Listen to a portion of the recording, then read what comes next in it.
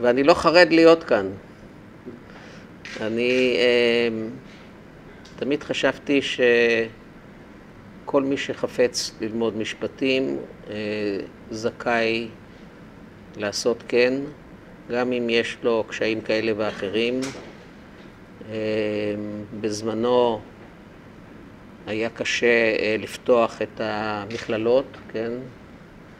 אה, אני הייתי בין אלה בלשכת עורכי הדין שהיינו בעד לפתוח את ה... להכיר במכללות ולפתוח את הלימודים לכל דכפין. אני בכלל חושב שככל שיש יותר עורכי דין, זה עושה חברה טובה יותר. חזקה על מי שלומד משפטים ובסופו של יום אה, מקבל רישיון ונכנס למקצוע, חזקה עליו שהוא יהיה אזרח טוב יותר, שומר חוק.